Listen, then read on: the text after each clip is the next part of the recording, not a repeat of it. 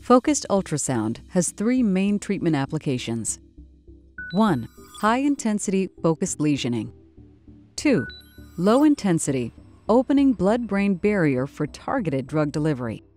3. Low-intensity neuromodulation. The blood-brain barrier is a key element of our brain. The blood-brain barrier is comprised of tightly knit endothelial cells that form a protective lining along the majority of all the brain's blood vessels. This acts as a shield that protects the brain, allowing essential nutrients to enter the brain but preventing harmful substances from entering the bloodstream.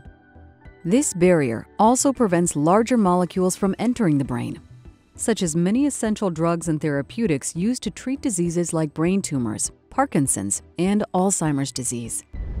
Inside an MRI scanner, ultrasound waves are focused on precisely targeted regions of the brain.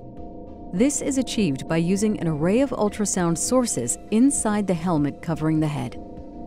Microscopic bubbles are then injected into the bloodstream, and the ultrasound waves activate the microbubbles, making them vibrate and expand. This creates a tiny temporary opening in the blood-brain barrier. The temporary ultrasound-guided opening of the blood-brain barrier allows for therapeutics, such as drugs and antibodies, to increase their entry into the brain.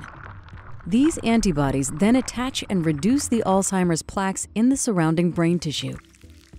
After the focused ultrasound procedure, the blood-brain barrier will reseal and regain its protective functionality within 48 hours.